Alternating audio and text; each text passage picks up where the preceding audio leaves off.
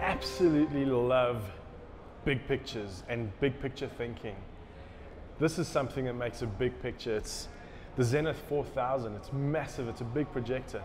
And often I think our lives are like that, where we take small little slides one at a time in our lives and we start making big movies, big pictures.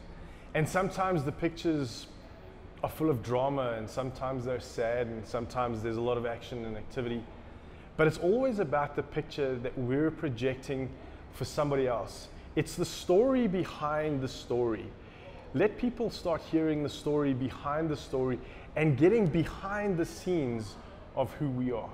Because that's the real you. So often I think we project ourselves to the world saying, hey, listen, this is what I think I should be looking like, or this is what I should sound like, or, or these are the words that I should say, because we become so aware of being politically correct that we're not people correct and we're not correct towards ourselves.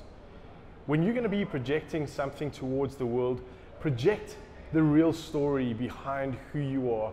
Show the reality film, the you behind the you.